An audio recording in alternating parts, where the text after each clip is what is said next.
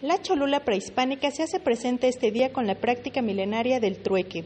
Más de 4.000 comerciantes y artesanos se dan cita en el tradicional intercambio que se realizaba en honor a Quetzalcoatl. Aquí podemos encontrar utensilios de barro, sombreros, tapetes, fruta, verduras y otras novedades de los pueblos colindantes a la zona del volcán Popocatépetl y de otras entidades del centro y sureste de México. Son muchas y distintas las mercancías que van y vienen de las miles de manos de las personas involucradas, quienes cada 8 de septiembre visitan esta legendaria ciudad que al menos hoy olvida su título de pueblo mágico y su urbanidad para recordar la Cholula prehispánica. Las familias cholultecas y sus visitantes también rinden honor a la Virgen de los Remedios, cuyo centro de oración está en la cima de la Gran Pirámide de Cholula. Para Organización Editorial Mexicana, Norma Marcial, El Sol de Puebla.